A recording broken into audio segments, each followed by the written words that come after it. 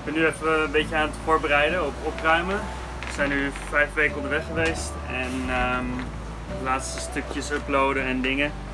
Eh, je moet ook veel dingen meenemen als je zo'n documentaire maakt. We hebben natuurlijk de camera, dat is heel belangrijk. Een drone, eh een laptop om alles te converteren. Dan hebben we een harde schijf, super geil ding. Kan ook met wifi. Ehm, dan hebben we een notitieblokje en een statief.